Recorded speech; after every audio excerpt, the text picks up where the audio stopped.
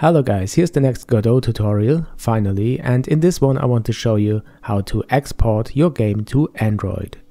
We have this scene here with the low poly world and I want to export it to my Android device. So what we have to start with is to visit some web pages. The first one is Android Studio. Just download it and you get the Android Studio and the SDK.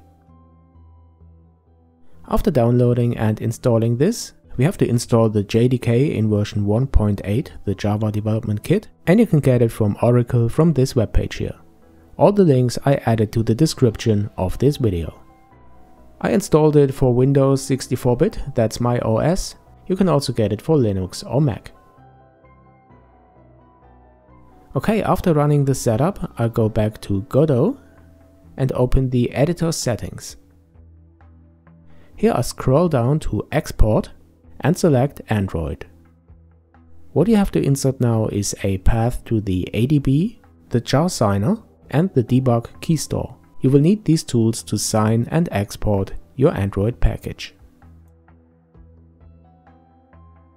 Okay, so let's see where these files could be. The first one, the ADB, the Android debugging bridge, can be found here in the home path, app data, local, Android, SDK, platform tools. You don't have to memorize this or to note it down, I will copy these strings to the description below. Okay, the next one is the jar signer. It can be found in your JDK directory in the bin folder, bin for binary.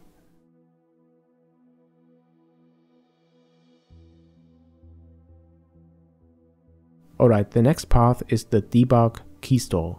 This file can be found in your home directory .android. You need this to sign an Android application during development. If this file isn't there, if it isn't generated by Android Studio or the SDK, you can use the key tool of the JDK to generate it.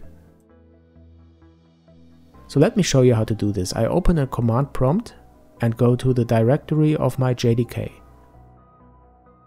Then I insert this long line here don't be afraid, I also copied this to the description and then the debug key store is generated at the location homepath.android. Here you can see what happens when this file already exists, I get an error, but if it isn't there, it's just created. Okay, now we have everything in place to export the APK, the Android package, which is our game. So open the project settings and select export. If you haven't already, add Android to your export presets. Now there are quite a few settings here, but we won't go through them in this tutorial. Just be sure that Runnable is enabled and then you can press Export Project. I export this as Nature APK. I did this before, so I will override it. After exporting, I have to bring this APK to my device. First I will show you how to do this manually. I connected my device with the USB cable to my PC, be sure that USB debugging is enabled. Then I copied the exported APK file to the download directory of my device. And now let's see how to install and open this. Here is my device, the screen. I go to My Files, then to APK installation files, and here you can see my Godot Nature APK. Then I select it and choose Install and after installing I can open it.